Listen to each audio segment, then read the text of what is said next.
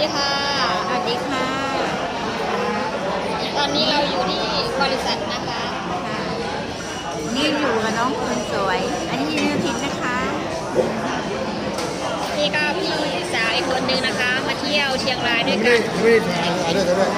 ถ่ายด้วย แนะนำตัวด้วยค่ะ ชื่ออะไรคะ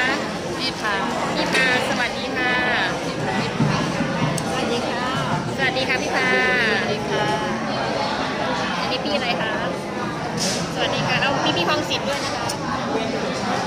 เอามาเลยค่ะ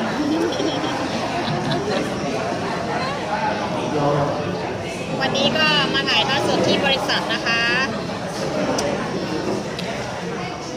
บรรยากาศดีมากเลยนะคะ